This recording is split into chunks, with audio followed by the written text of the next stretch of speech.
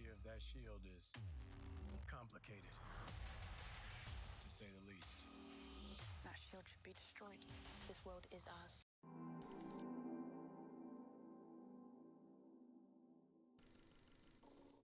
Two thousand years ago, ancient civilizations such as the Roman Empire in the west and the Han Dynasty in the east had risen to prominence.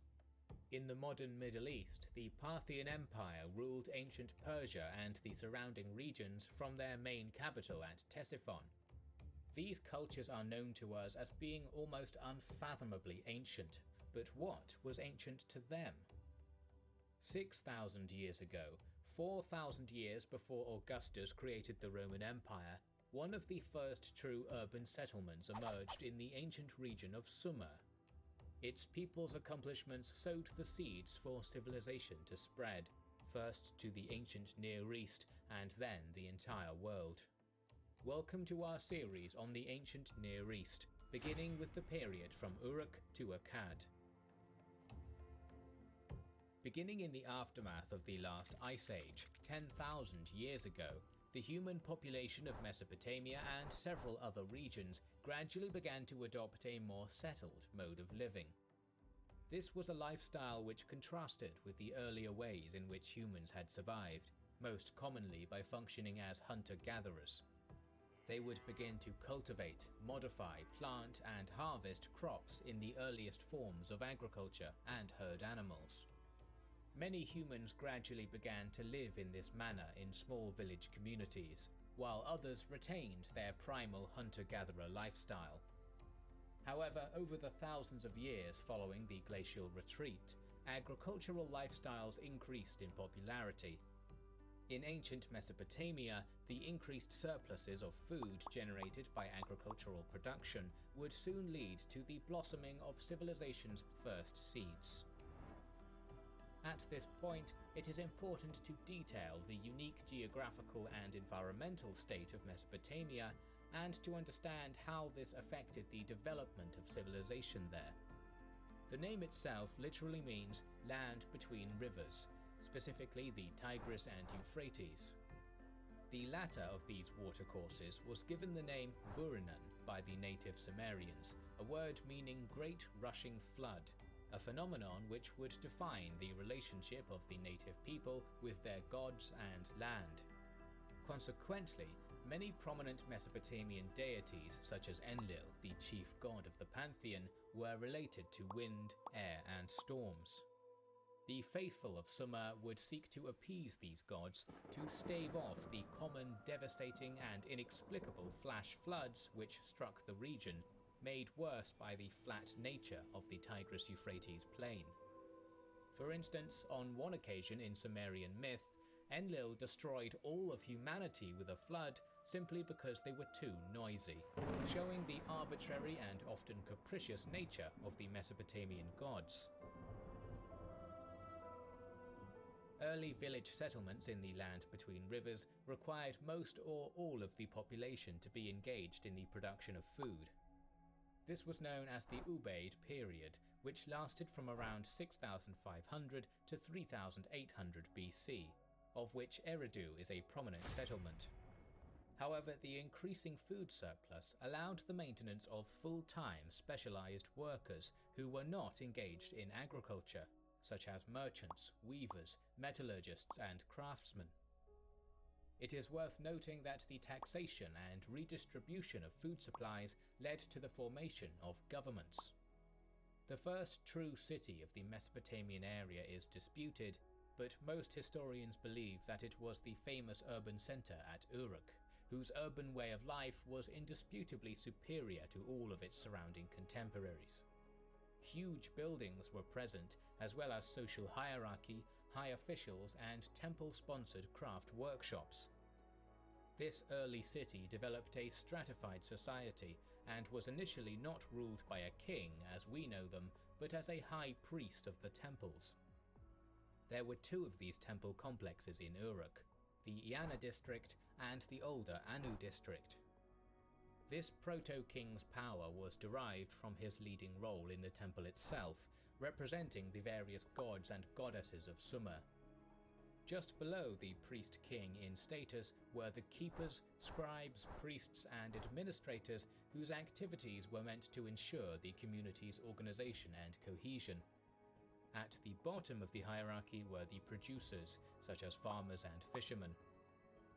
The very first systems of writing also developed in this period, possibly as a memory aid for the recording of tributes, taxes, and distributions of surplus food, and were mainly based on simple symbols rather than representing a spoken language. From 3500 BC onwards, the influence of Uruk over the surrounding areas became increasingly clear to see. The buildings of the Ascendant City and its iconic and pioneering mass produced pottery and tools also found themselves in settlements all across the Near East from Syria to Iran, such as Susa. The people who brought them probably settled in existing towns with existing populations, made colonies of their own on unoccupied land, or even invaded other settlements violently from their dominant position in Uruk. The latter phenomenon occurred at Tell Hamoukar, where native architecture was burned and destroyed, followed by the construction of buildings in the Uruk style, the earliest noted occurrence of organized warfare. The pseudo-colonial effort may have been attempted in order to obtain resources which were not present in resource-poor Mesopotamia, such as wood, obsidian, stone, or metals, rather than it being a conscious effort to forge an empire. Attesting to the far-reaching nature of Uruk's civilization at this time, it is also thought that they had a presence in Egypt as well, whose tombs in the pre-dynastic period began to be constructed in the Uruk niche and buttress style. However, around the year 2900 BC, it seems that the Uruk colonies, such as Habuba Kabira, abruptly disappear from outside southern Mesopotamia. Meanwhile, Uruk itself appears to have been razed in some devastating event and gradually lost its hegemonic status. We do not know exactly what happened to end the Uruk period, but it could have been that those colonized individuals rebelled against Uruk, or a civil war occurred between different factions in the city. Over the centuries following the decline of Uruk, a number of Sumerian city-states emerged and grew in size. This created a political map which would have appeared similar to ancient Greece and its network of city-states. These city-states mostly consisted of an urban centre and a hinterland consisting of various villages. Examples of such city-states included Lagash, Umma, Ur, Nippur, Eridu, Larsa, and Uruk itself, which retained its power but not its hegemony.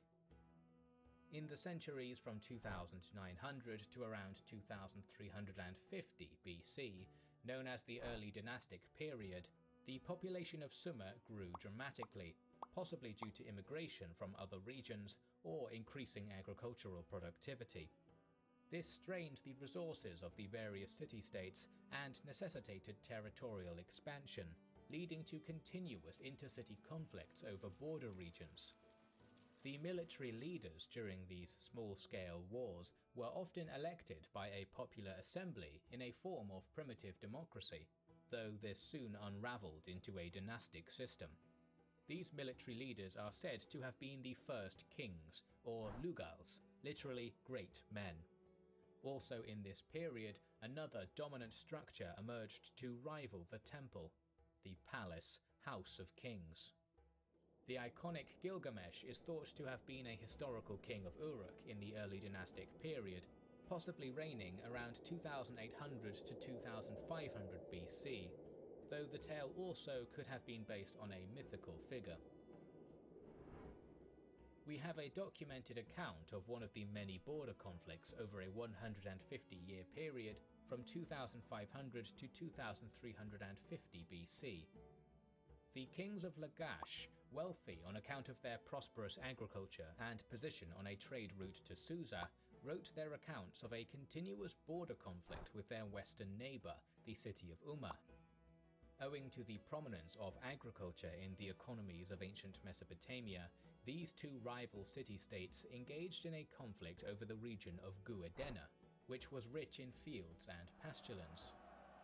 One victorious king, Eannatum of Lagash, portrayed himself as a champion of his respective local god.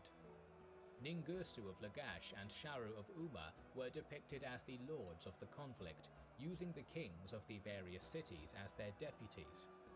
It is interesting to note that this initial borderland between Umma and Lagash was reportedly drawn by Enlil of Nippur, the supreme god, and this again indicates his prominence in Mesopotamian religion.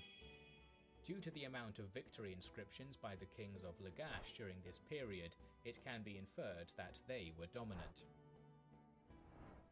While the temple had largely lost its political dominance over Sumerian city-states to the kings at this point, the economic and ideological position of the temple remained strong.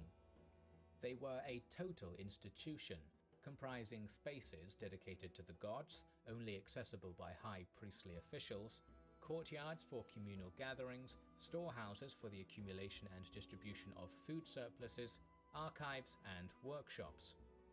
Another example of the ideological dominance of religion is that while the king would lead the military action, the outcome would be credited to and determined by the will of the city god.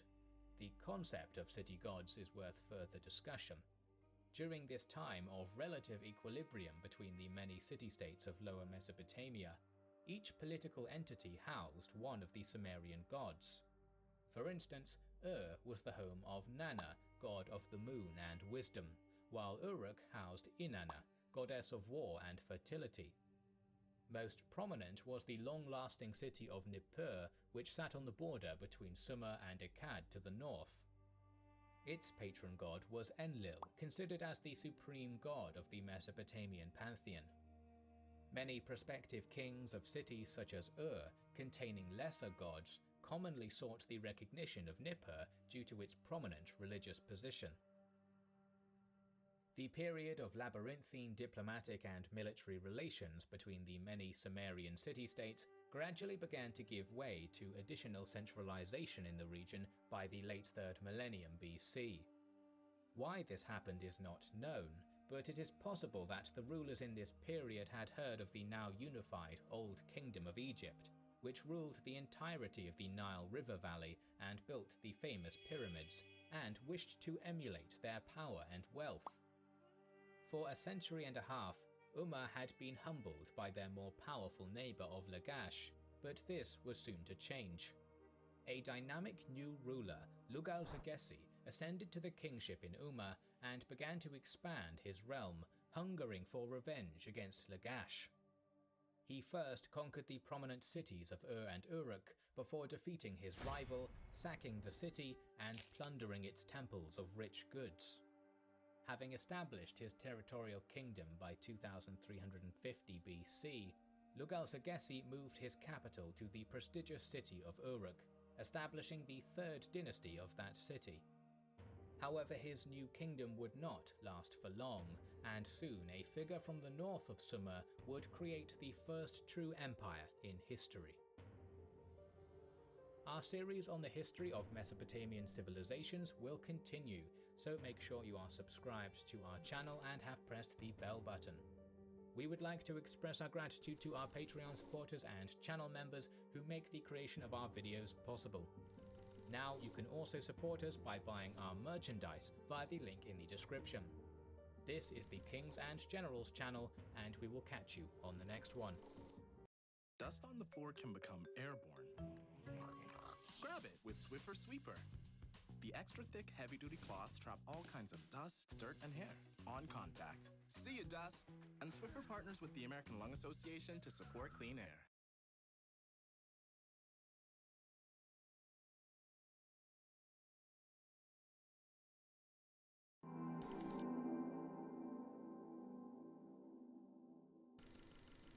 In our previous episode, we discussed the rise and fall of the first empire in history, the Akkadian Empire. Its great rulers from Sargon to Naram Sin broke the mold and set in motion a way of running a state which would be emulated for thousands of years to come.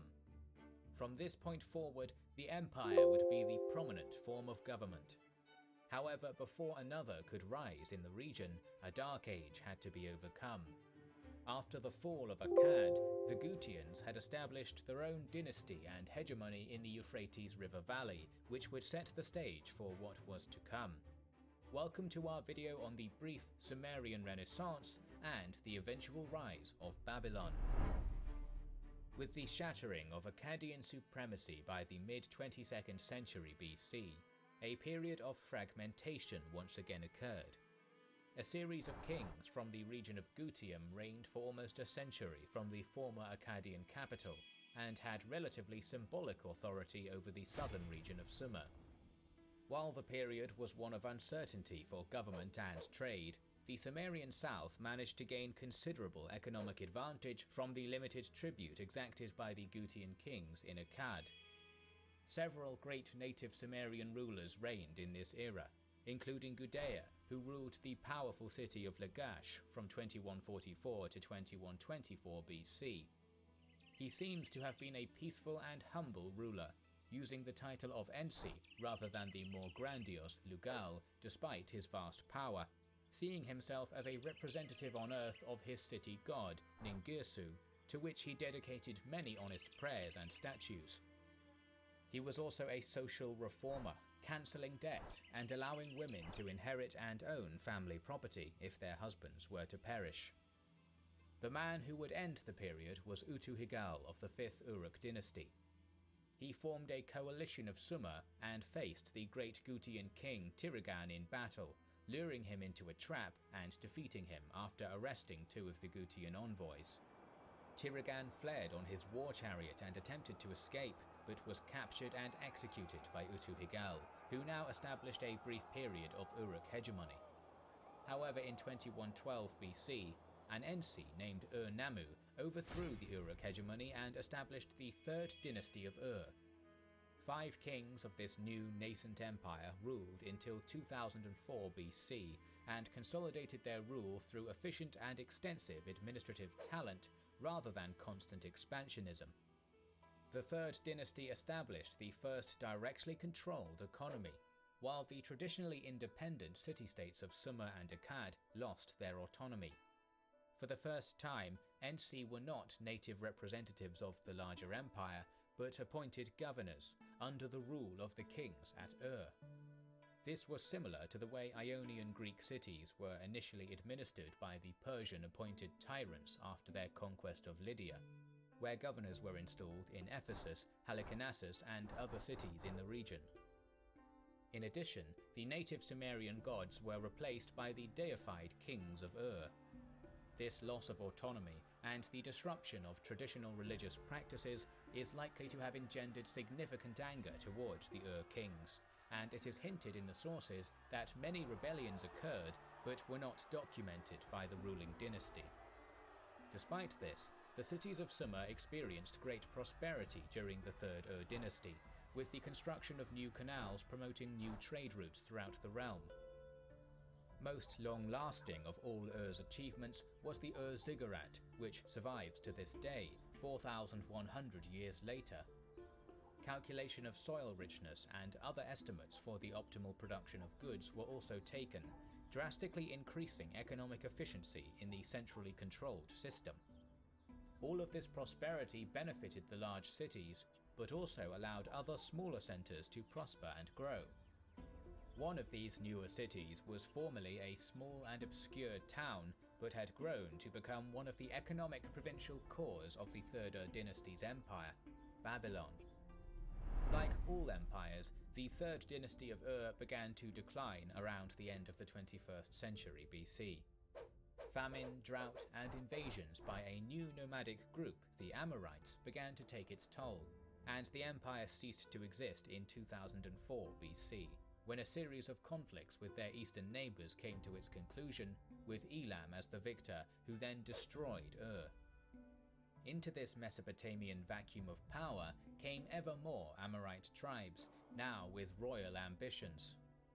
These nomadic semi-pastoralists, whose name literally means people of the west, supposedly originated in the highlands region west of the middle Euphrates.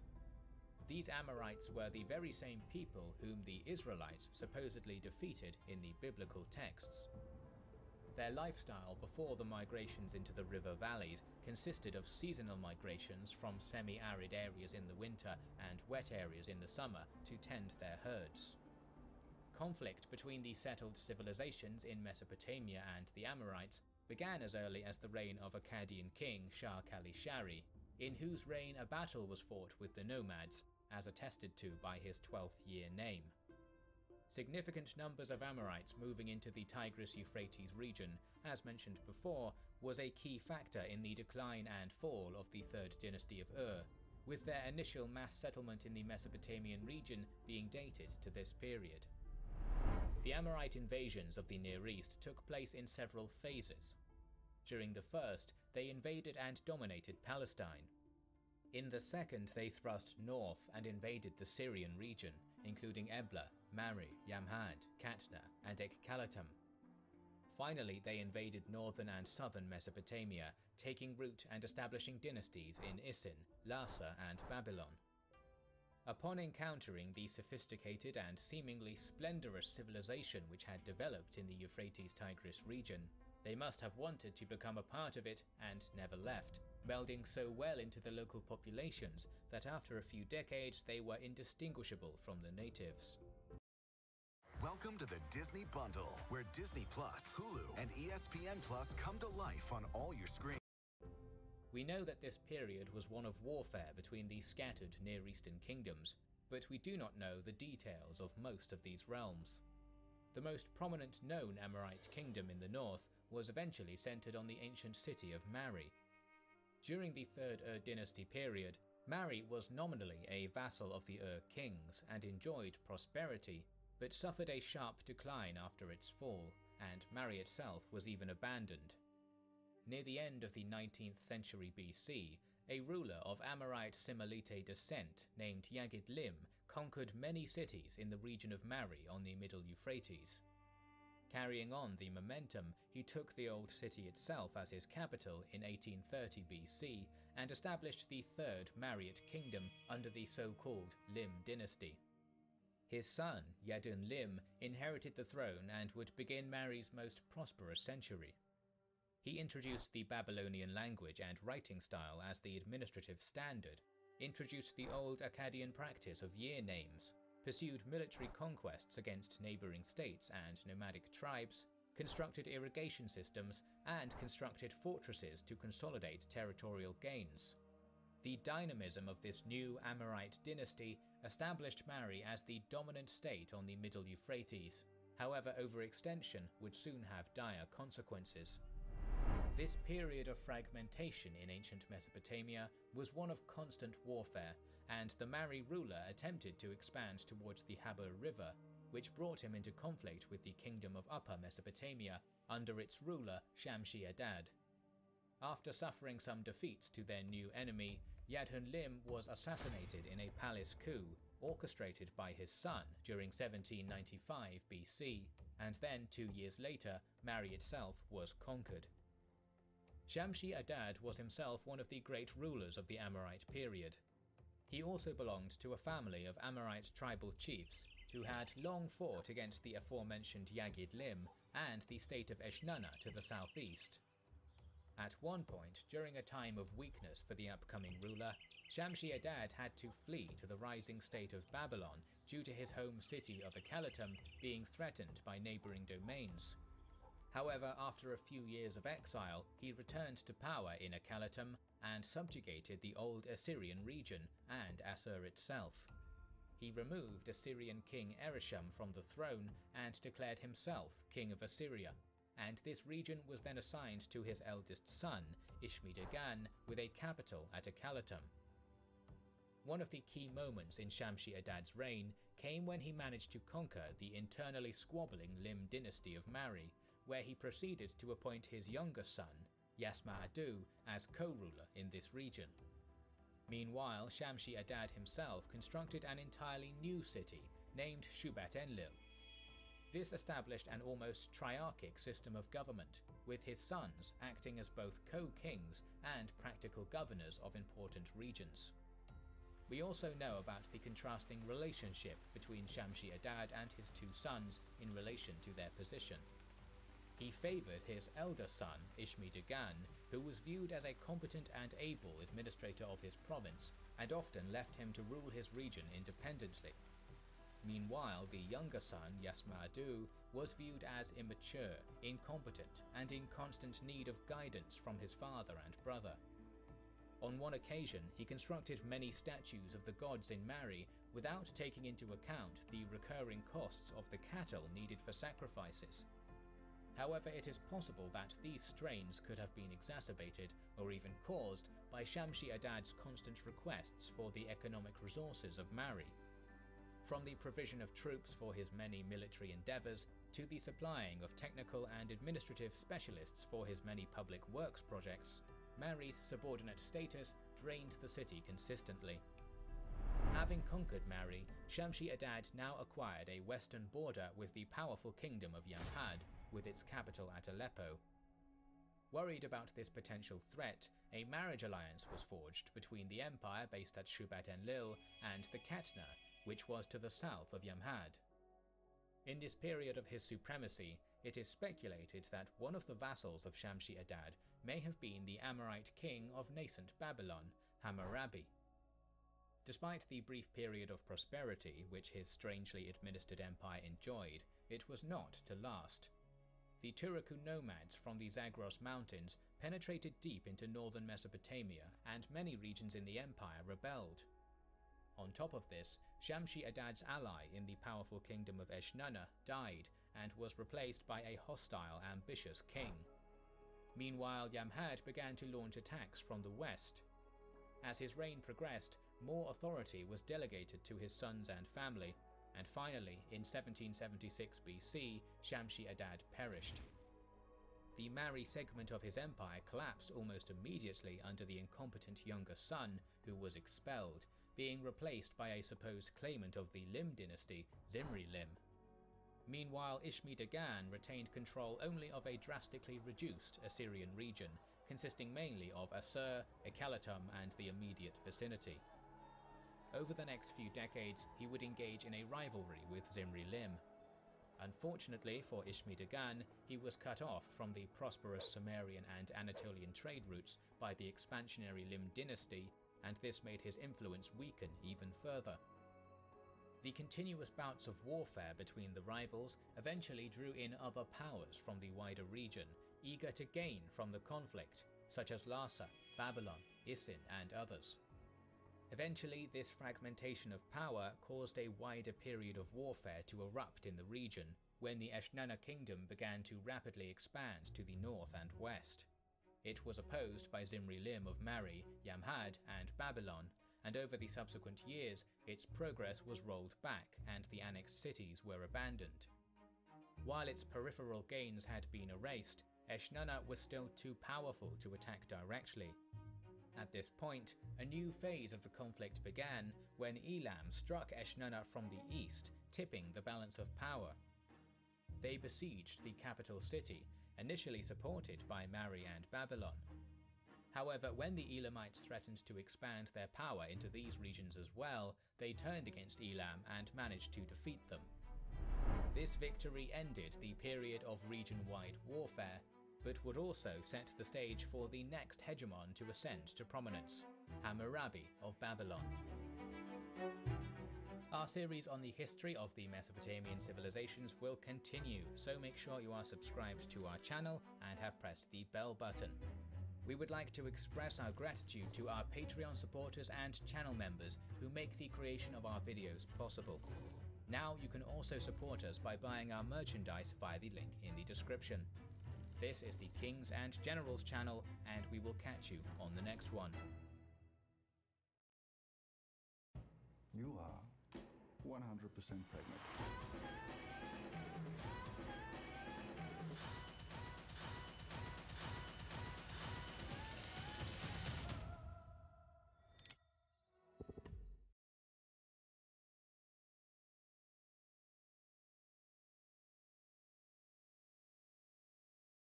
The NordicTrack Freestride Trainer is an elliptical, a stepper, and a low impact running machine that transports your workout to the most beautiful places on the planet. Nordic Track, the home of interactive personal training.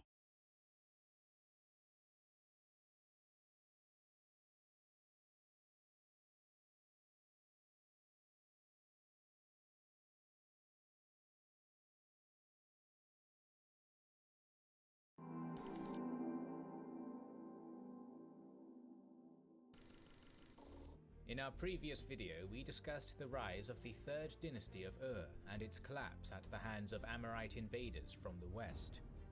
The subsequent period of political fragmentation was one of regional conflict, with the Amorite Shamshi Adad and his dynasty ruling in the north, while the Eshnunna dominated central Mesopotamia and Larsa reigned over the south. Many names from this period are a mystery to the general public, but that of Babylon is a notable exception. Under one of its most famous kings, Hammurabi, this new entity would rise to unify the entire region in a new empire, eclipsing the previous civilizations to the point where Sumer and Akkad were simply known as Babylonia. Welcome to our video on the rise of Babylon. Thanks to Raid Shadow Legends for sponsoring this video. What is Raid Shadow Legends? Epic dark fantasy done right. Hundreds of champions to collect, zero cartoons. Raid Shadow Legends is a brand new collection RPG game that is taking the mobile gaming landscape by storm. More than 10 million players worldwide have already downloaded the game in less than 6 months. Enjoy a fully voiced story campaign and 13 spectacular locations, and the best part, it is free to play. Check out the amazing graphics and details on those champions, and in Raid, you have the ability to personally customize, choose artifacts, and design a unique mastery build for each one of them. What we love about the game are the infinite customization options. Raid has 300,000 positive reviews that agree with us. Raid has an almost perfect score on the Play Store. The game is growing super fast and the highly anticipated new Faction Wars feature is now live. And there is a new awesome rewards program for new players. Get a new daily login reward for the first 90 days in the game. Go to the video description, click on these special links, and you'll get 50,000 silver and a free epic champion as part of the new player program to start your journey. The settlement that would become Babylon, known as Babar at the time, was possibly inhabited as a minor and unimportant town as soon as the early dynastic period, from 2900 to 2350 BC.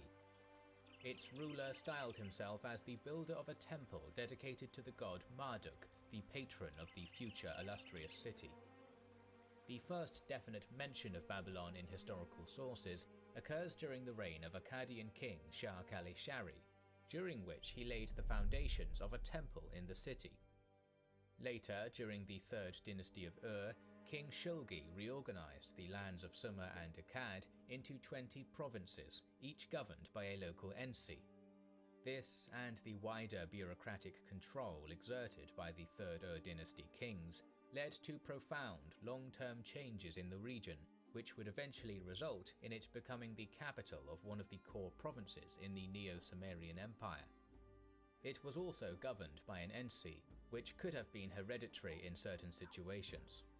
Iter Elam, his son Isser Elam, and Abba were all part of the same family, which indicates the presence of native local rulers in Babylon. In the late 21st century BC, increasing numbers of Amorite pastoralists began to migrate east and make their homes in the settled civilizations of Mesopotamia.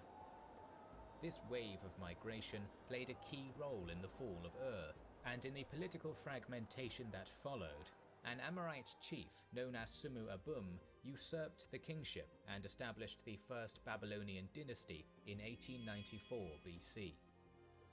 His successor, Sumu La'el, took power in 1880 BC and expanded his kingdom even further to cover an area from Sippar in the north to Marad in the south, encompassing many prominent old cities such as Kish, whose walls he demolished in order to consolidate Babylonian hegemony. During his reign, the first indisputable evidence for the cult of Marduk was also documented, when during 1860 BC, a throne of gold and silver was fashioned for the Babylonian sky god in the city. Three future kings, Sabium, Apel-Sin and Sin-Muballit reigned over the subsequent half-century of relative stability. Before we discuss Hammurabi himself, we must first speak of the broader political situation in Sumer and Akkad into which he would emerge. We covered the exploits of the northern Amorite kingdoms in our previous video, however the Sumerian south was also a battleground.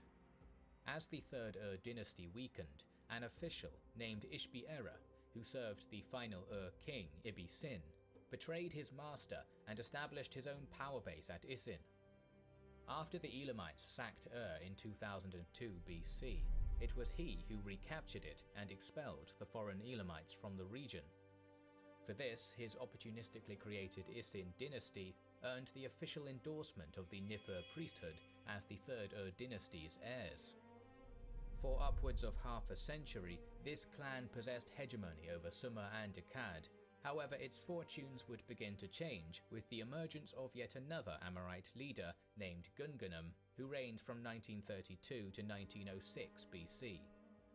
He seems to have been the governor of Larsa, city of the Mesopotamian sun god Utu, during Isin rule.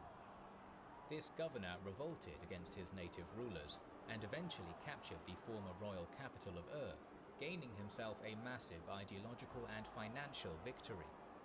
Therefore, by the middle of the 19th century BC, it was Babylon and Larsa which constituted the rising powers in Sumer and Akkad.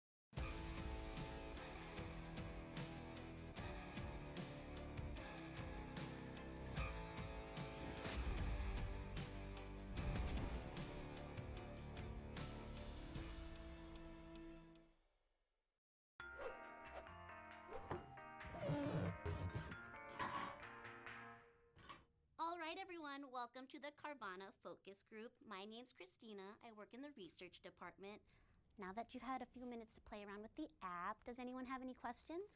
Yes, hi, Dave Samuels here. You're telling me I can buy a car entirely online? You got it. And then you'll deliver it to me. Or I can pick it up at a car vending machine? That's correct. And if I don't like it, I can simply return it for another one. That's exactly right. I don't get it. That's all right. That's what this focus group is for. Any other questions before we begin? Oh, hi, uh, Becky Davidson. Just so you're aware, you don't need to all keep saying your names. You have name tags on.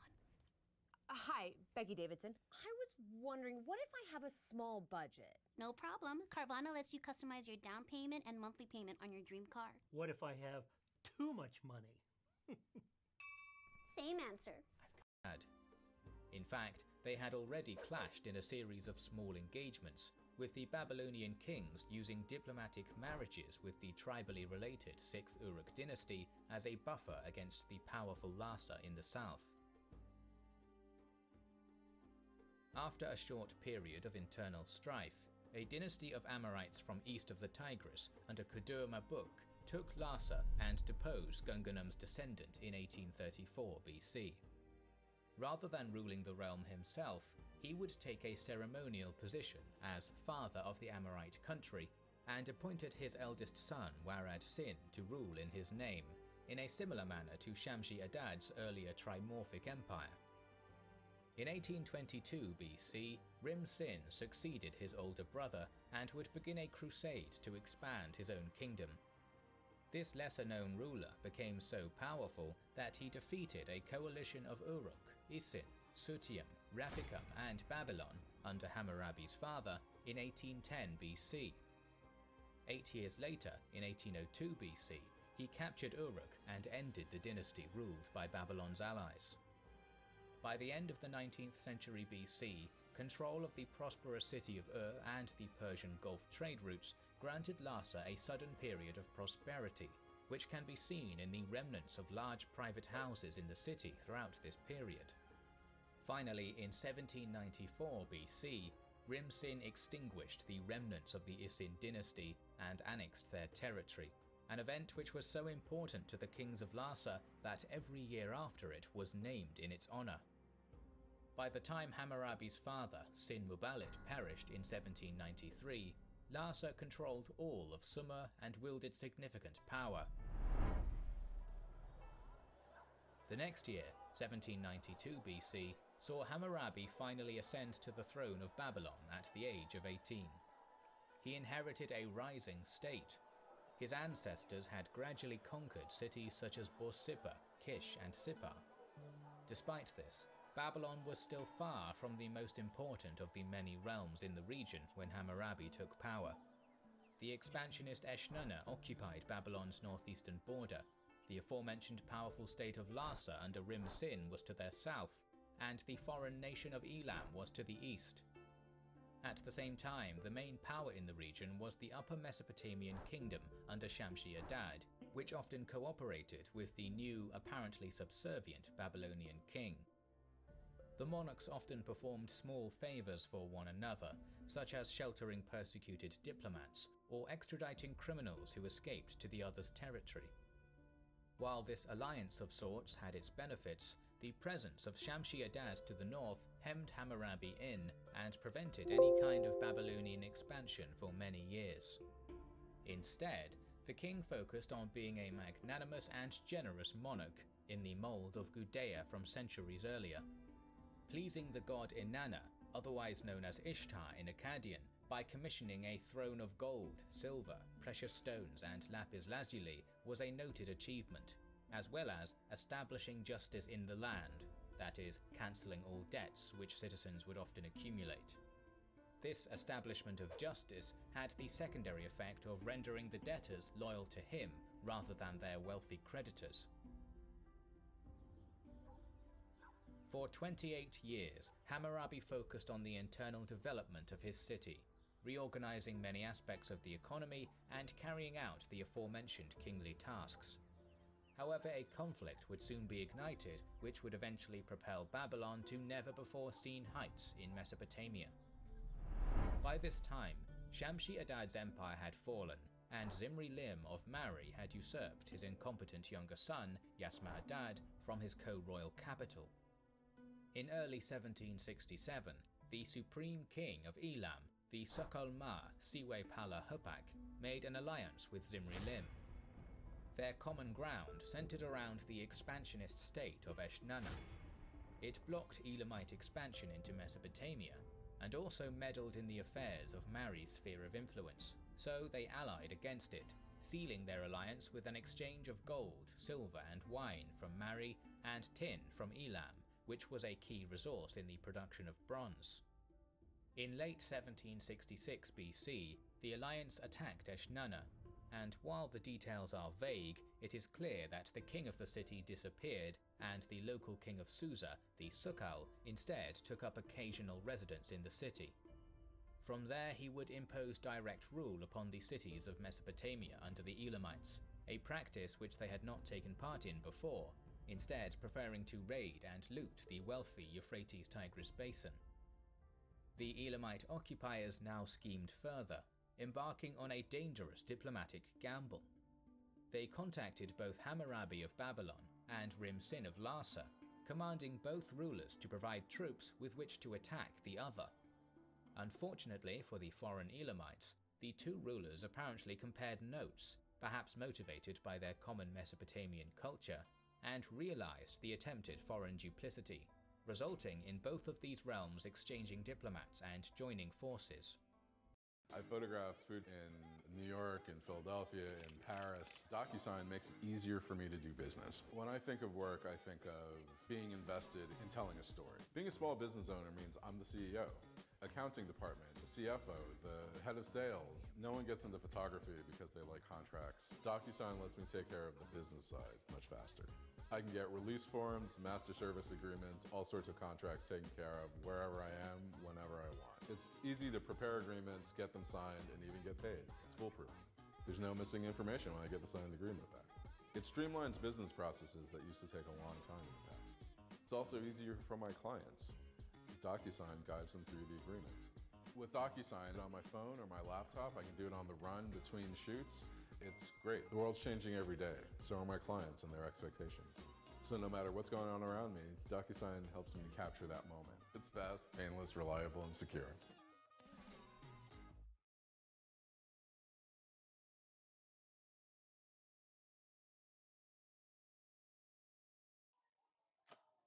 Hi there, welcome to Forward. Come on in.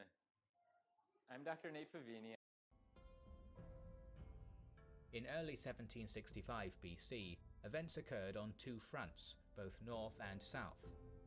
In the north, the Elamites sent several proxy armies, with troops from Elam, Eshnunna, and mercenaries from the Zagros Mountains, to assault northern Mesopotamia, commanded by client kings of Elam in the north. This maneuver led to a few years of back and forth conflict, during which the Sukkalmah ruined his previously established alliance with Mari. Meanwhile, to the south, Hammurabi reacted decisively to a threat from the king of Susa, who coveted Babylon itself and intended to seize it. Calling upon the many cities and kingdoms of the region, Hammurabi managed to head a grand alliance of Mesopotamia, including Yamhad, Ekalatum, and most of the Akkadian city-states. Most prominent was Zimri Lim of Mari, who sealed a pact with the Babylonians in the middle of 1765 BC, which included the words, From this day on, for as long as I live, I will be at war with Siwe Pala Hupak. The Mari king's subsequent active levying of both urban and nomadic troops for Hammurabi can be understood due to Elamite intervention in northern Mesopotamia. It is likely he saw Babylon as a dagger with which to stab the foreign invaders. In gratitude for this generous assistance, Hammurabi granted monetary rewards to the soldiers even before they fought, and invited all of them to feast in his presence in order to make them feel welcome in the foreign land. Notably absent from the anti-Elam alliance was Larsa, who remained neutral.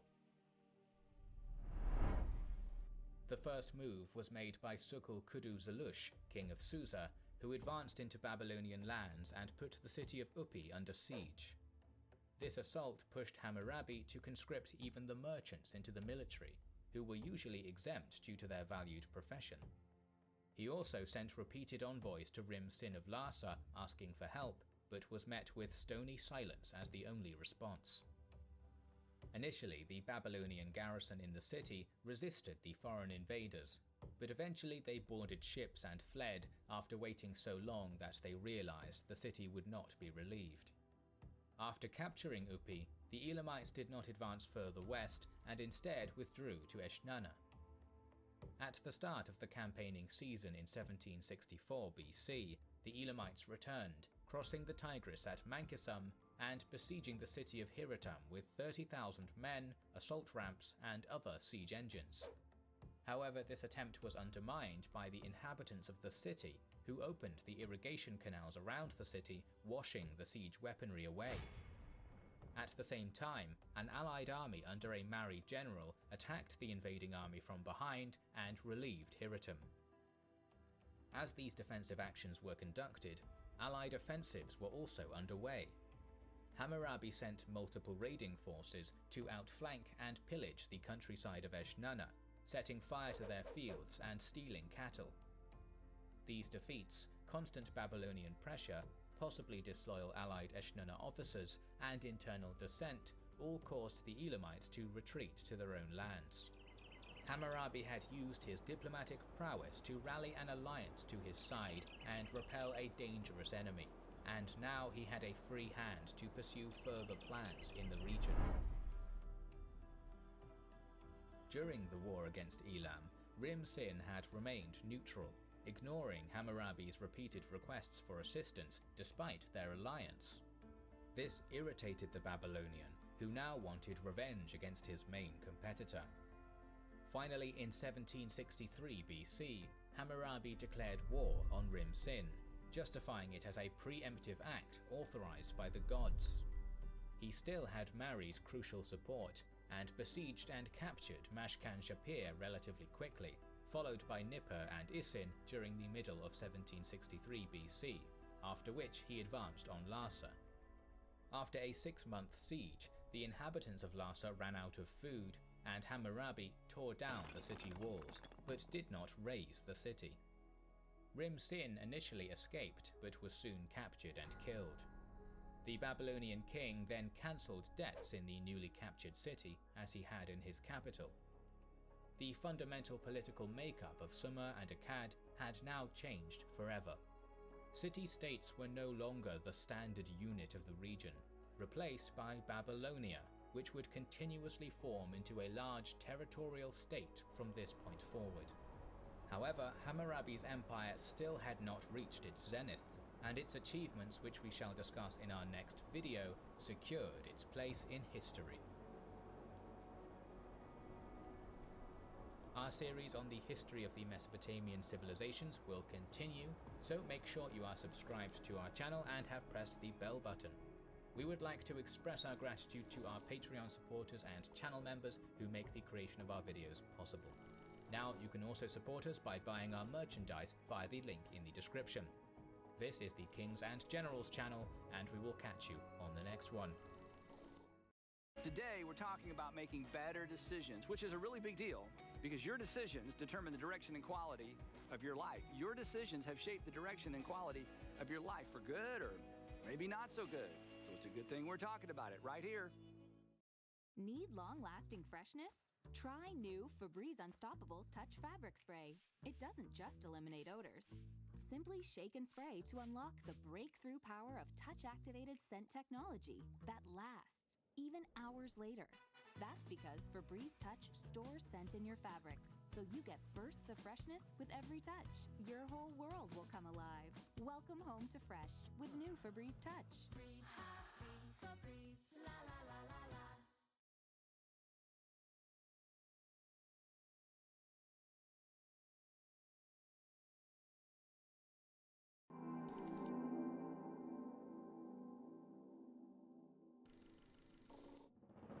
Gauls were one of Rome's oldest and most bitter enemies. They had sacked Rome and throughout the centuries fought alongside the Republic's most dangerous adversaries, including Pyrrhus and Hannibal. By the end of the 2nd century BC, southern Gaul was largely subdued. However, there was still tension in northern Gaul, particularly along the Rhine. These tensions would ultimately climax in the Gallic Wars, the conflict that would shape the future of Western Europe for centuries to come, giving rise to the Holy Roman Empire and modern day France. The conflict that would forever etch the name Gaius Julius Caesar in the annals of history. Rome had been rocked by almost half a century of civil wars, and the Republic was in decline. Both Marius and Sulla had marched on Rome, highlighting the ineffectiveness of the system for maintaining a large empire, and the fact that the legionaries were more loyal to their generals than to the state. Following this chaotic period, three men had established an unofficial alliance to effectively control the Republic. This was the first triumvirate, consisting of the famous general Pompey the Great, the richest man in Rome, Crassus, and Julius Caesar. Caesar had been consul the year before in 59 BC, but his political campaigning had left him in debt and made him many enemies in Rome. He needed to make money fast and gain enough military success to keep his political adversaries at bay. When the time came for distributing provinces for Caesar to govern as proconsul, he was able to use his political allies to secure Cisalpine Gaul, Illyricum, and Transalpine Gaul for an unprecedented five years. This put Caesar in control of four veteran legions, the 7th, 8th, 9th, and 10th, all of whom had fought with Caesar before in Hispania and were loyal to him. They had a total of roughly 22,000 legionaries, plus auxiliaries. Caesar now had the men he needed. All he needed was an excuse for war. Fortunately for Caesar, a Celtic tribe, the Helvetii, was planning a migration into Gaul in 58 BC. Their leader, Orgetorix, had formed a confederation with a number of neighbouring tribes, the Tulingi, Latubrigi, Rauraki, and Boii, and now they numbered 368,000 men, women, and children. Orgetorix had even convinced them all to burn their homes in order to leave no option of failure. However, soon he was accused of being a tyrant and was forced to commit suicide. Command passed to Divico. Divico was determined to stick to the plan and began amassing supplies in order to start pouring into Gaul. To do this, they would either have to pass through the land of the Roman ally Aedui and the province of Transalpine Gaul, or take the longer route through the mountain passes in the north. The Romans had built up a healthy fear of migrating tribes following the Cimbrian War in 113 to 101 BC, and so Caesar, hearing of this, was only too willing to come to the rescue of the Aedui. He took the only available legion in the area and force marched them up to Geneva, destroying the bridge on the Rhone that provided access into Transalpine Gaul. The Helvetii appealed to Caesar, asking for military access through Roman lands and promising they would not attack. Caesar played for time, pretending to consider this offer for almost 15 days. Using this time, his legion was able to construct a fortified embankment almost 5 meters high, stretching 20 miles along the riverbank. With the legion manning the embankment and now in a stronger position, Caesar denied the Helvetii access and refused to allow them to cross. Some of the Helvetii ignored this and attempted to cross nonetheless in small boats, but were prevented from doing so by the legionaries throwing javelins and shooting arrows into them. With the southern route thus blocked, the Helvetii decided to take the longer northern route through the mountains into Gaul. Leaving his top lieutenant, Labienus, in command, Caesar returned to Italy to levy a further two legions and to pull the other three veteran legions out of their winter quarters in Aquileia, bringing his total to approximately 33,000 legionaries plus auxiliaries. Despite Labienus being in a strong position to easily block the mountain pass, the Helvetii managed to push into Gallic territories and began ravaging the land. The Gauls pleaded with Caesar to intervene and chase the Helvetii out, and Caesar, yet again, was only too willing to help, marching his legions into the Gallic territories. The decision of Labienus to not hold the Helvetii in the mountains was likely an order received from Caesar. The Celts were now in open terrain, which better suited the Roman legions, and their pillaging of Gaul gave Caesar an excuse to intervene.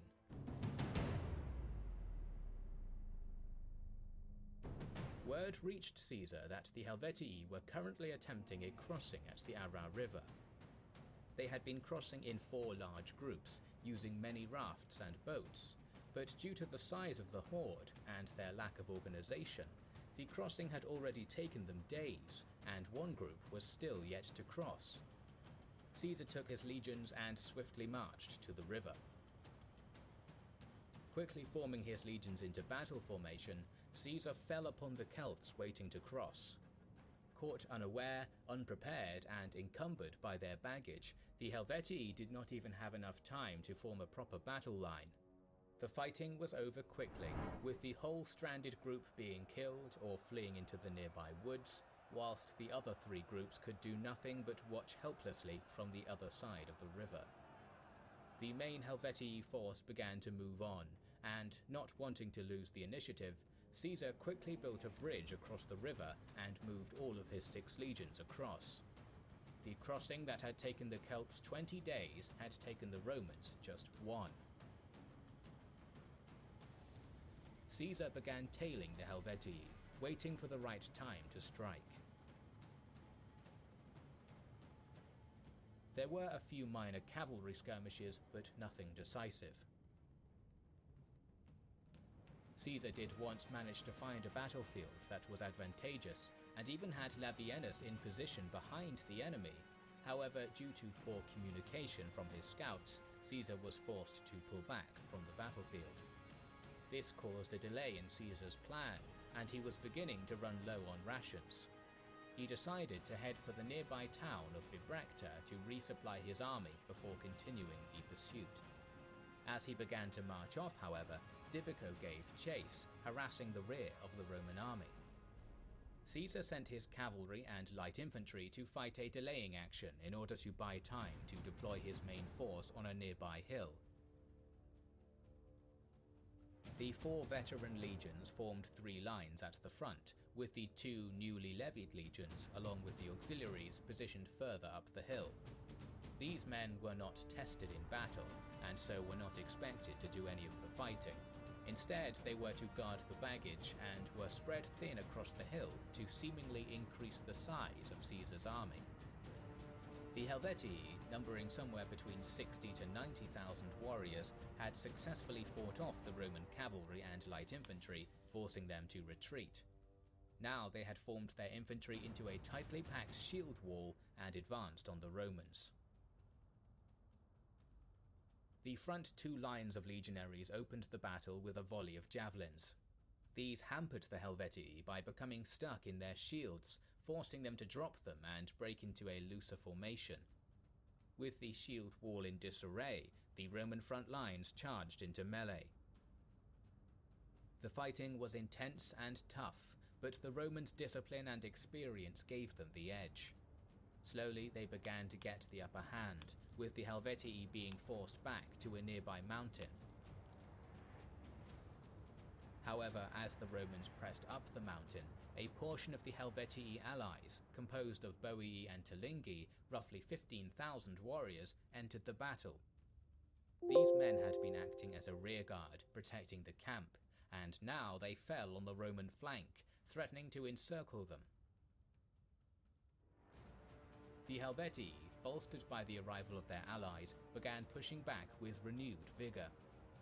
With the two front lines of legionaries already engaging the Helvetii on the mountain, Caesar committed his final line of veterans, which had been acting as a reserve. After hours of hard fighting, the Helvetii on the mountain were eventually broken and forced from the battle. However, the Boii and Tulingi fell back to the camp to make a last stand, Using their baggage wagons, they formed a makeshift rampart and continued the fight, hurling missiles down into the Roman ranks. This is where the fighting was the most difficult, as the Boii were famed warriors and fought desperately. Finally, after fighting long into the night, the third line was able to break into the camp, ending the battle. The battle had lasted almost 12 hours, Caesar had lost perhaps 5,000 men, whilst the Helvetii had lost around 40 to 60,000. Of the 368,000 people who began the migration, only 130,000 were now left. Caesar, with no cavalry to speak of, was not able to give chase immediately, and gave his men three days in order to recover from the battle before starting the pursuit. The Helvetii, seeing the Romans chasing them once more, surrendered completely and were forced to return to their homeland and made a vassal of Rome, acting as a buffer between Roman and Germanic lands. Caesar had achieved his aim of gaining a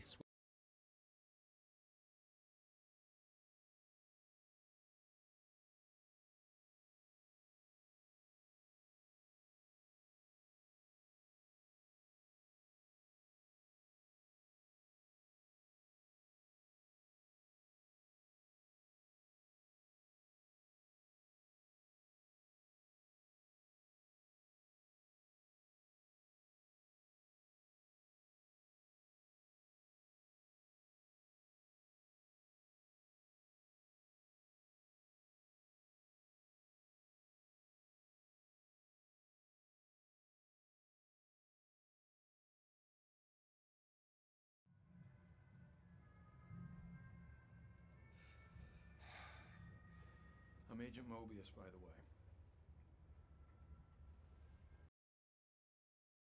The Salem Witch Trials. Fear and superstition have been guiding forces for mankind for thousands of years.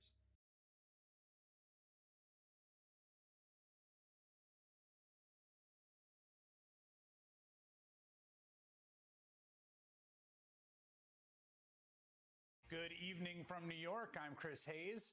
Um, you've noticed what we've noticed, right? In the last few days, it seems as though someone somewhere hit a button. All of a sudden, we are seeing conservatives, Republicans coming out to finally state the obvious. The COVID vaccines are saving lives, they are safe and effective, and they are a great way of protecting you, your family, and your loved ones from the scourge of COVID, an infectious respiratory virus which has already killed more than 600,000 Americans and at various points brought our hospitals and our broader society to its knees. Please take COVID seriously. I can't say it enough. Enough people have died. We don't need any more deaths. America, we're in this together. And if you can, get the vaccine. For information on vaccine sites, visit the vaccine finder on the homepage of foxnews.com. You do see uh, about 95 to 98% of people in the hospital for COVID are people that aren't vaccinated. And, and I just, you know, I wanted, I was ready to get the vaccine. I've always felt it was safe and effective. These shots need to get in everybody's arm as rapidly as possible, or we're going to be back in a situation in the fall that we don't yearn for that we went through last year. If you are vaccinated, fully vaccinated, the chance of you getting seriously ill or dying from COVID is effectively zero. All of this is great and very welcome, but it is striking to see. I mean, striking to see someone like Florida Governor Ron DeSantis getting up and saying, hey, guys, the vaccines will save your lives. It is bizarre because seeing it makes you realize just how completely absent Republicans have been for all this time. We, of course, have covered the anti vax or anti pro vax, just asking questions, uh, juvenile trolling from Fox News, and the irresponsible, wildly insidious way they have covered the pandemic. But it is strange how much mainstream Republicans, the big mouthpieces for conservatism, have been essentially absent on the whole question altogether. I think that is because, from the beginning, huge parts of the Republican Party have seen the pandemic as fundamentally a political problem rather than a once in a lifetime health crisis. Now, the person that set the tone for that was, of course, Donald Trump, and it flowed down. Because the most important thing to Donald Trump, who was the leader of the Republican Party and was president when the pandemic hit, was what the pandemic was doing to the stock market and therefore his reelection campaign. On Monday, March 9th, 2020, with the stock market expected to fall precipitously, remember, rather than do something that would actually improve the situation, Trump tried to bluff his way through, tweeting, quote, the fake news media and their partner, the Democrat Party, is doing everything within its semi-considerable power, used to be greater, to inflame the coronavirus situation far beyond what the facts would warrant. Surgeon General, the risk is low to the average American. The Dow fell 8% that day. Three days later, on Thursday, it fell 10% for what was the worst day since the 1987 crash. And so on Friday, to rally the market, Trump paraded a bunch of CEOs around the Rose Garden in the afternoon, made a bunch of empty promises that Google has 1,700 engineers working on a website to facilitate COVID testing. They did not have 1,700 engineers working on that. And then when the Dow finished higher that day, after a terrible week, Trump signed the stock chart and gave it to his loyal supporter Lou Dobbs of Fox Business. That did nothing to stop COVID from spreading. Right? Trump never actually cared about stopping COVID from spreading, about stopping people from getting sick. Just the week before that, he had openly admitted he did not want to let Americans infected with COVID off a cruise ship because, quote, I'd rather have them stay on. I don't need the numbers to double. Now, Trump is a special case, okay? He is a sociopath who I believe actually lacks the ability to actually appreciate human suffering and loss at a very deep level. Just actually can't do it. And because he treated the disease like a public relations issue, that did set the tone for the rest of the party. It wasn't just Trump. Here's a great example Texas Senator Ted Cruz echoing the exact same cynicism exactly one year ago today. Three days only, save big on Ring Alarm Security Kits. Go worry free with whole home security that if it ends up that Biden wins in November, I hope he doesn't. I don't think he will, but if he does, I guarantee you the week after the election, suddenly all those Democratic governors, all those Democratic mayors will say, everything's magically better. Go back to work, go back to school. Suddenly the problems are solved. You won't even have to wait for Biden to be sworn in. All they'll need is election day, and suddenly their willingness to just destroy people's lives and livelihoods they will have accomplished their task. That's wrong. It's cynical, and, and, and, and we shouldn't be a part of it. Utterly, completely, in every possible conceivable way wrong. Just, just astoundingly, beautifully wrong, right? it was Republicans that rushed to open up sooner, even after Biden was elected. Democratic states, even with schools, right, more reticent. Just completely wrong. Ted Cruz, absolutely wrong. It's not how things shook out. But it's so revealing Why did he make that mistake? Because Ted Cruz himself only views the pandemic through a political prism. And so he projects it onto everyone else. He thinks Democrats do too. Florida Governor Ron DeSantis consistently downplayed the health threats throughout this crisis, and he was uh, applauded by Republicans for winning uh, the, the, pandemic. Just last week, he started selling a bunch of anti COVID uh, expertise merchandise, including lockdown koozies with a quote by him saying, How the hell am I going to be able to drink a beer with a mask on? And t shirts that read, Don't Fauci my Florida. That's all about political positioning. It was always about political positioning. And to be fair, there's been a lot of political posturing around the pandemic from Democrats and liberals as well. There has been. But the deep problem here is that there's always been this sense among Republicans and Republican politicians, not all of them, but the vast majority, that COVID is essentially an invented threat. The libs are more or less making this up. You just need to, you know, manage it and, and move along and not freak out. I do think there's a complex relationship between who's leading the pushback to, say, COVID measures, particularly vaccines, and who's following. But because of most of that, you know, if you gave most Republican politicians truth serum, I think they would tell you that once the vaccines were available, the goal for Republicans was essentially to have their cake and eat it too. Meaning, let the Biden administration, which I think Republicans secretly know is certainly far more competent than the Trump administration, generally wants to solve the problem, let the Biden administration handle the crisis. Let them administer the vaccine across the country, but don't lift a finger to aid them. Take your pot shots where you can.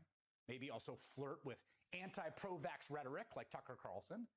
And that way, you can have your cake and eat it too, right? You get your state vaccinated, you open up businesses, not you know, submerge your hospitals, while also wiping your hands of the whole thing and maintaining a good standing with the base that is radicalized against public health measures in general.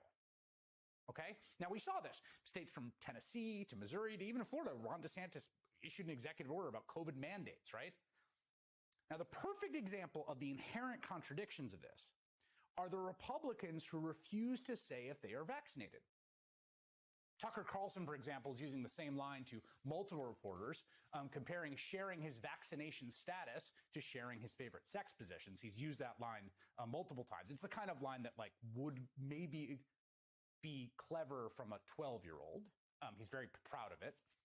Congresswoman Marjorie Taylor Greene claimed that asking her status uh, at a press conference the other day is a HIPAA violation. It's not. Uh, and wouldn't you expect her to be the first person to just tell you she's not vaccinated and be proud about it? But for some reason, she didn't want to answer. Neither did Tucker Carlson. I wonder what their vaccination status is. Today, Congressman Ronny Jackson asked why Democrats don't get asked if they have been vaccinated. And the answer is because they have been, and they told everyone because they want other people to get vaccinated. In fact, a bunch of reporters called up every member of Congress, and every Democratic member of Congress said, Yeah, I got vaccinated. You should too, because they want people to not get killed from COVID.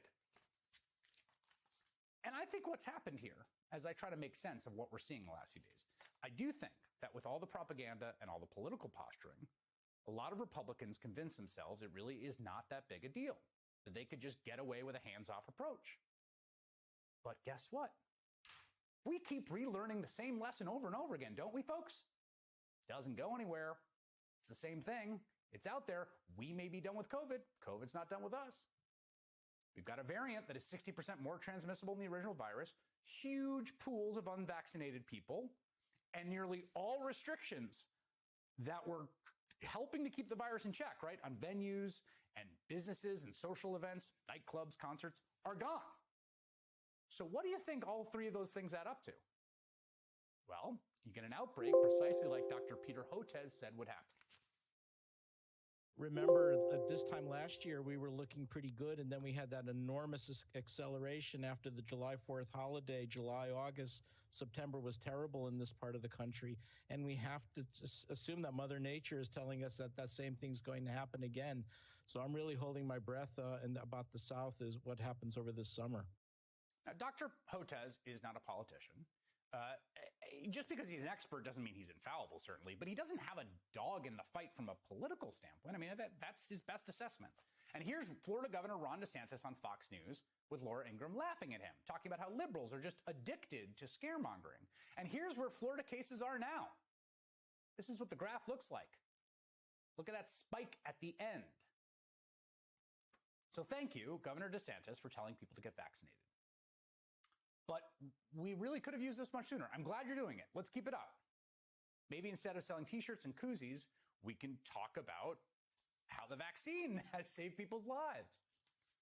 And this is not about people with a certain political persuasion getting the virus or, or, or dying of it. I don't care. No one cares, really, I think. It, it's really not about politics. Everything is about politics at some level, but this shouldn't be, or it shouldn't be about politics in the way it has become. I hope this is a final moment to change that model of thinking among everyone alike. That this is fundamentally a political problem to solve, particularly the Republican Party that views it that way. Let's get everyone vaccinated, let's save as many lives as possible, and then we could just fight about all the other stuff later, okay?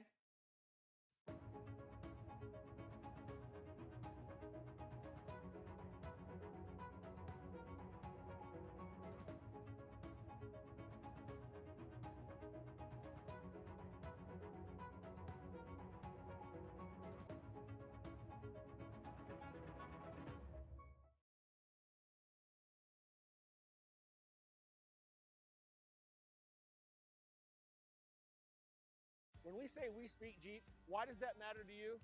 Because in Colorado, there's different lifestyles and different needs, and Jeep has a vehicle to meet all of those. And it doesn't just stop there. We Speak Jeep means we have a factory trained parts and service staff to keep your vehicle on. Here's the story of COVID in America. It was terrible for a long time. Then it was getting better for a while, with vaccination curbing the virus in many, many parts of the nation. And now the story is it's getting worse daily cases tripling to 41,000 now.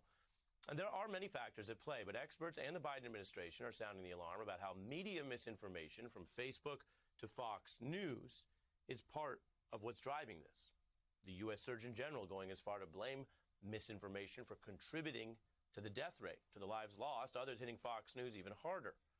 Experts arguing that politicizing vaccines and discouraging their use undermines this key safety method that we have at the very time when the nation is in a position to put COVID on its back for good. Now, amidst this pressure and this ongoing debate, some at Fox News are changing gears. They have a new formal PSA on vaccines that aired last night. Sean Hannity now backing vaccines. But it's not a uniform approach over there. Because even amidst that edit, the Fox News anchor with the largest audience, Tucker Carlson, continues to play very dangerous games. He has seized on COVID as what looks like to him another culture war ploy. He claims that people should call child protective services on any parents whose children wear masks. And now he's trying to project current media criticism of Fox, some of what I just told you about, back onto others. And he's implying that accurate information about public health advice is somehow the news taking a forbidden ideological position. This is just from his latest broadcast. As a channel, CNN shouldn't have a position on whether you should take medicine or not because it's a news channel. It's not a health agency. Why is a news channel doing this? Any news channel, a lot of them are. That might sound like a real argument if you're not listening closely. And we get it. People sometimes have the TV on while they're doing other things, making dinner.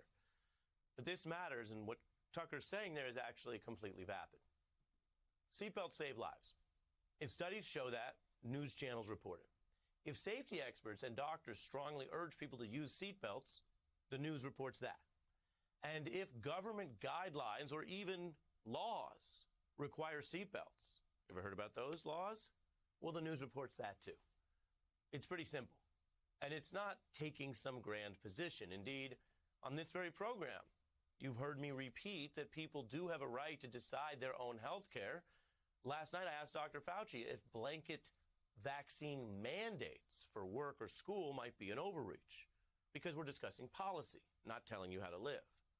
But on the facts, we can also tell you seatbelts save lives. So do these vaccines. And Tucker Carlson's not consistent either. He's also joined the chorus of attacks on facts and experts and doctors. And what about the uh, efficacy of the vaccine itself among adults? Why does it matter how many COVID cases we have in this country? There are a lot of those people giving you medical advice on television, and you should ignore them. Obviously, we're not doctors. So there's whiplash between Hannity embracing vaccines and other hosts carrying on. This matters. It impacts the views of millions. President Biden even discussing that changeover at Fox in new remarks. One of those other networks is not a big fan of mine. Uh, one you talk about a lot. But if you notice, as they say in, in, in the southern part of my state, they've had an altar call, some of those guys. All of a sudden, they're out there saying, let's get vaccinated. Let's get vaccinated. The very people before this were saying, so that, but that, I, I shouldn't make fun of it. That's good. It's good. It's good. That's good. That's good. That's what it sounds like when a president's not settling a score or taking cheap shots at media critics, but rather a president thinking about how what happens on Fox impacts the lives of his constituents, of all Americans. You could call it presidenting. And while misleading and controversial statements do get more attention on TV and online, there are others in conservative media, and I want to mention this as part of our report tonight, who are speaking out on vaccines. You should know what they're saying too. Take one of the most influential conservatives in America, a guy named Chris Ruddy. He runs Newsmax, the Trump friendly outlet that's to the right of Fox. You may remember his name as well from the Mueller probe as a high level Trump confidant. He has a brand new piece, and here's the title Biden's good job on the vaccine, where he tells fellow Trump fans, I myself have gotten the Pfizer vaccine, and notes that vaccines save countless lives and more could be saved if it were available earlier. In fact, given how reflexively skeptical conservative audience have been encouraged to be by Ruddy's friend Trump, among others, the Newsmax leader goes on to make sure people understand that he has not, he says, heard from the Biden White House about this coverage, and instead he just wants to credit Biden for the fact that he's doing a good job on this front. As for the impact on real people, well, some journalists are cataloging the price here. Part of Tucker Carlson's crusade and his rhetorical word games is to try to scare people into feeling like there's some sort of sinister government project to push these vaccines. There must be something wrong if they're being pushed hard. So he warned his viewers the entire agenda is, quote, designed to make you comply. That's the framing. And for him, that might be an exciting way to try to vacuum up some level of interest there is out there in that. But this is real. These are real lives. This is not a drill. And we're so far into this, so deep into this, it is unfortunate that I have to say that and remind people of that for those who need the reminding, but this is about real people. Here is CBS's Scott Rowe talking to a COVID patient in Louisiana about this individual's rationale for avoiding the vaccine. Let's get to the point. Your IT environment? It's complicated. Your technologies and automation tools? They don't work together. And you? You're tired of writing complex scripts to automate your processes. They're too expensive. Here I am recovering, getting out of here finally tomorrow. Am I going to get a vaccine? No. Um, Why not? Because there's too many issues with these vaccines. Before you got sick, if you would have had a chance to get the vaccine and prevent this, would you have taken the vaccine? Nope. So you'd have gone through this? I'd have gone through this, yes, sir. Don't shove it down my throat. That's what's local, state, federal administration is trying to do, to shove it down your throat. What are they shoving, the science? No, they're shoving the fact that that's their agenda. The agenda is to get you vaccinated. The agenda is to get you vaccinated.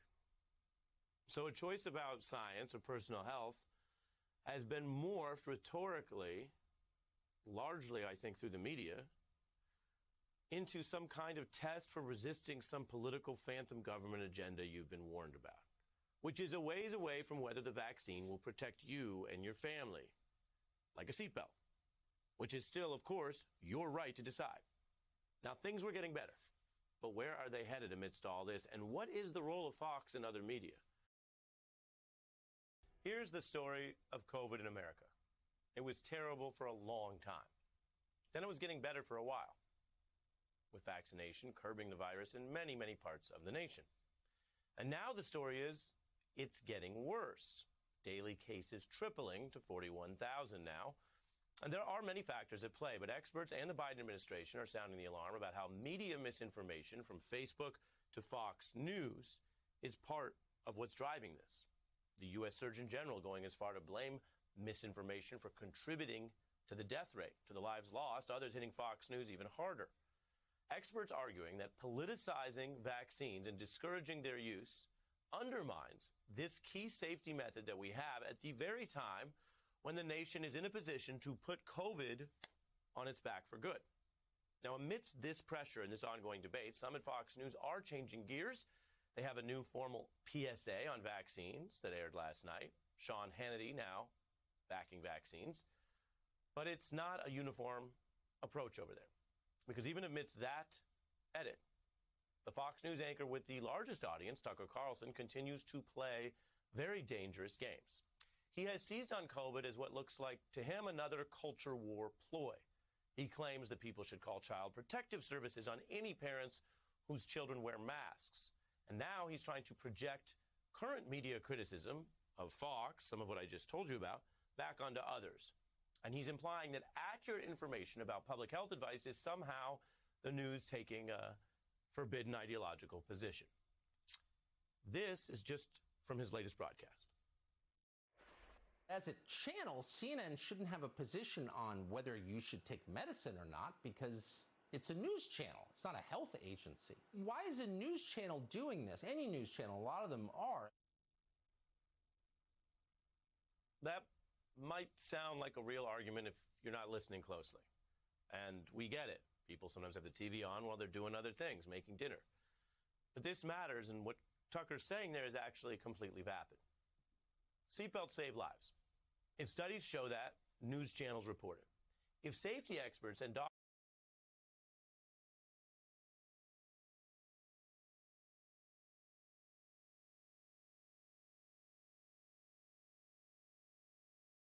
Tonight, the worst case scenario among the unvaccinated. We feel like we're kind of going back into battle again, and it's definitely um, it's, it's definitely a, another wave. The highly contagious Delta variant fueling a surge of new cases across the country. Dire warnings from the nation's top doctor.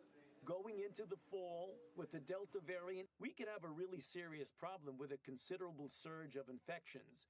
The variant sweeping through the South, Texas, Arkansas, and Florida accounting for 40% of new cases in the country. But in Miami, thousands packing a stadium for a live concert.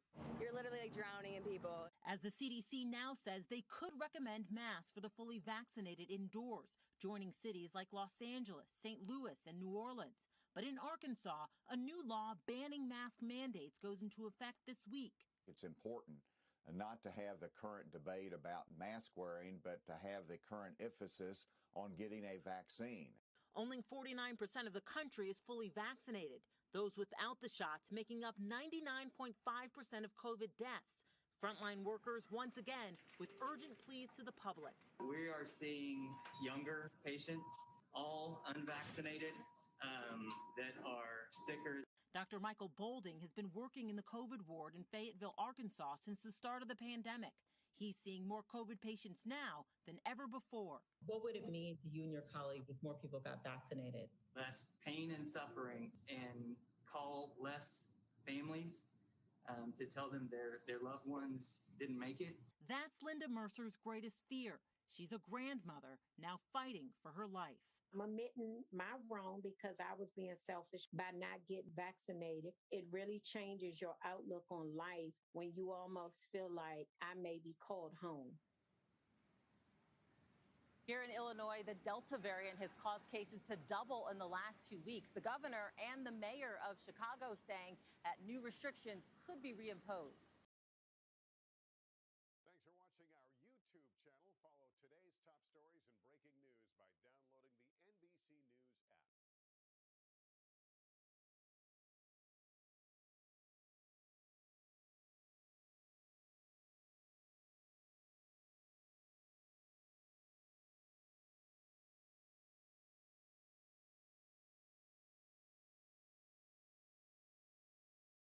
Thinking about going solar, but not sure whether it's worth it for your home? Well, before you get quotes, there are three things you need to know about going solar and one easy way to find them out. Number one, you need to Joining me now are my colleagues at the Washington Post, Carol Leonnig and Phil Rucker. Carol and Phil, thanks very much. Phil, I'm going to start with you.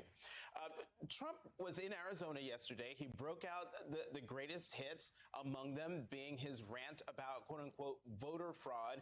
Both of you talked to Donald Trump about this. Let's have a listen and I'll talk to you about it on the other side.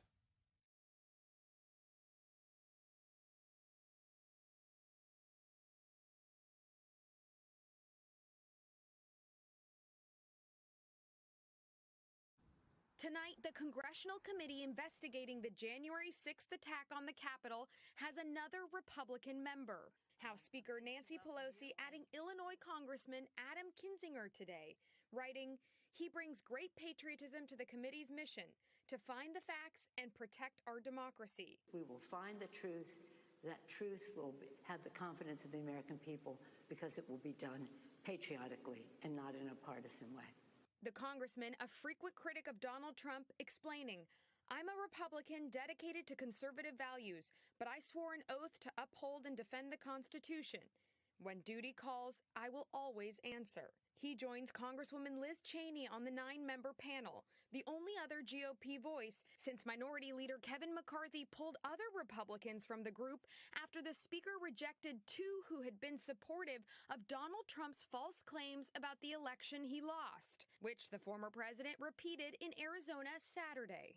When they steal it from you and rig it, that's not easy, and we have to fight. The first committee hearing is set for Tuesday, where Capitol police officers will testify about their personal experiences, some of which even motivated their newly named chief to come out of retirement. If you would have asked me on uh, January 5th, you want to be a police chief again, I would have said, no, I'm, I'm fine. I'm enjoying retirement. Um, but the events of January 6th changed that. Leader McCarthy slammed Speaker Pelosi's decision this afternoon, saying, quote, members who share her preconceived narrative will not yield a serious investigation. Lester?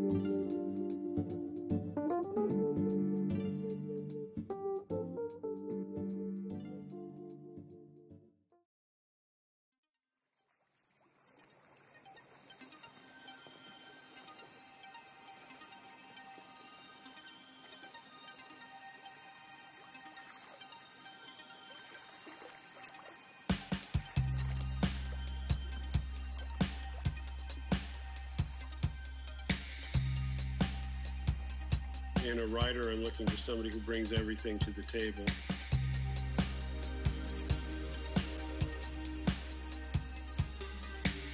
You know, who brings art, who brings their vision, and particularly who bring their brain to the table.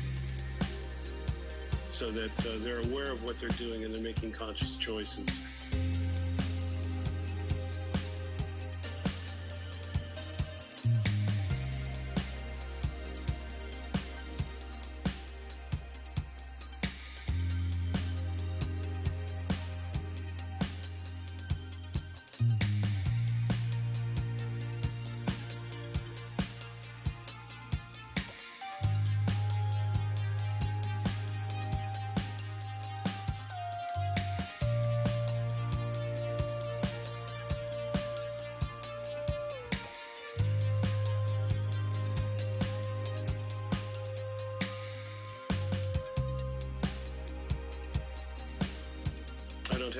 Patience for people who feel like they're downloading from the cosmos. You know, just let, that's how it came out. okay, great. Now let's make it better. But, uh, you know, just writing from a place of understanding rather than from a place of fear, where you're just grateful for any idea that comes along and you don't want to change it because you don't know how.